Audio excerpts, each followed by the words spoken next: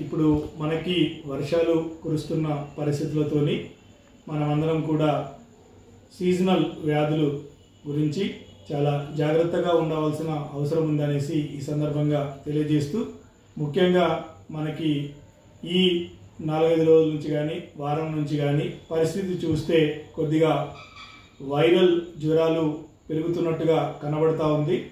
So viral జ్వరాలు అనగానే మనకు ముఖ్యంగా డెంగ్యూ లాంటి కొంత కనబడుతూ ఉంది. అయితే దీనికి ప్రజలు ఎలాంటి భయాందోళన గురి కావాల్సిన అవసరం లేదు. ముఖ్యంగా ఇది డెంగ్యూ జ్వరం కానీ ఎలాంటి వైరల్ ఫీవర్స్ వచ్చినా కూడా దాదాపు సాధారణ జ్వరం లాగానే ఈ యొక్క జ్వరం అనేది రావడం జరుగుతూ ఉంటుంది.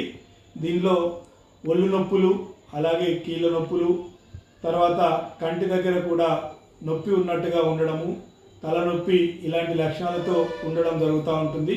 అది కాకుండా కండరాల నొప్పులు కూడా రావడం జరుగుతూ ఉంటుంది కాబట్టి ప్రజలు దీన్ని గమనించి ముఖ్యంగా ఈ సింపుల్గా పారాసెటమాల్ టాబ్లెట్ తీసుకొని ఎక్కువగా ద్రావకాలు ముఖ్యంగా లిక్విడ్స్ అనేది చాలా ఇంపార్టెంట్. ఇలాంటి వైరల్ ఫీవర్స్ వచ్చినప్పుడు అవి తీసుకోవాలనేసి తెలియజేస్తూ ఉన్నాము. మరి ఈ వైరల్ ఫీవర్స్ రావడానికి మనకు ముఖ్యంగా నిల్వ ఉన్న నీరు ఒక కారణంగా ఉంటా ఉంటుంది.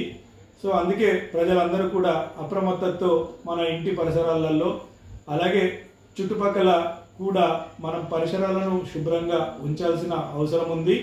ముఖ్యంగా నిల్వ నీరు అంటే వాటర్ ట్యాంకులలో కానీ అలాగే టైర్స్లలో కానీ మన కొబ్బరి చిప్పలలో కానీ మన యొక్క కూలర్స్ ఇలాంటి వాటిలలో నిల్వ నీరు ఉన్నప్పుడు ఈ యొక్క ఎడీస్ మస్కిటో ఈ డెంగ్యూ కారకమైన ఎడీస్ మస్కిటో అనేది ఇది అక్కడ పెరగడం జరుగుతూ ఉంటుంది కాబట్టి ప్రతి ప్రభుత్వం ఇచ్చిన పిలుపు మేరకు ప్రతి ఫ్రైడే డ్రైడే కార్యక్రమాన్ని పాటించడము.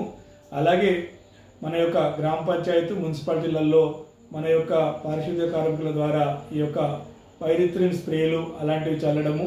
ఇళ్ళలో అయితే మనకు మస్కిటో రెపెలెంట్స్ మస్కిటో నెట్స్ వాడడము అనేది చూసుకోవాలి. ముఖ్యంగా డెంగ్యూ కారకమైన దోమ డే టైంలో ఎక్కువగా బయట చేయడానికి సాయంకాలం బయట చేయడానికి అవకాశం ఉంటుంది కాబట్టి ప్రజలు దీని పట్ల జాగ్రత్త వహిస్తే దీని నుంచి మనం బయటపడడానికి అవకాశం ఉంటుంది.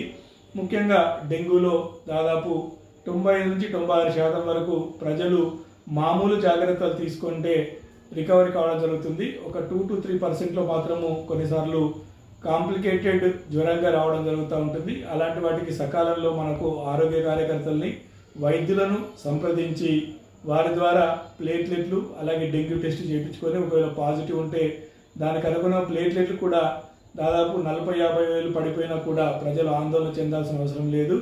అది జ్వరం తగ్గగానే ఆటోమేటికల్లీ పెరుగుతూ ఉంటుంది. అంతకంటే తక్కువగా మారినప్పుడు కొన్నిసార్లు బ్లీడింగ్ డిజార్డర్ కాంప్లికేషన్స్ రావడానికి అవకాశం ఉంటుంది కాబట్టి ఇలాంటి పరిస్థితి మాత్రం వైద్యుల పర్యవేక్షణలో ట్రీట్మెంట్ తీసుకోవడం వల్ల దీని నుంచి మనము ఈజీగా బయటపడతామనేసి తెలియజేస్తా ఉన్నాను.